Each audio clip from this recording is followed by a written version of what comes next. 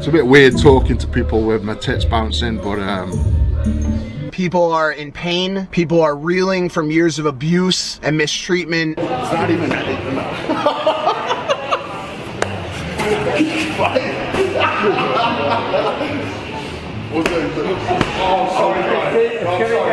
A moment like this proves it.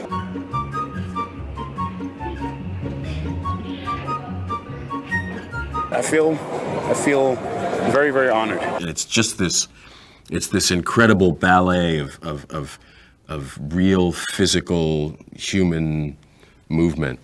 That was that was really bad. That was Get him. No, I'm sorry,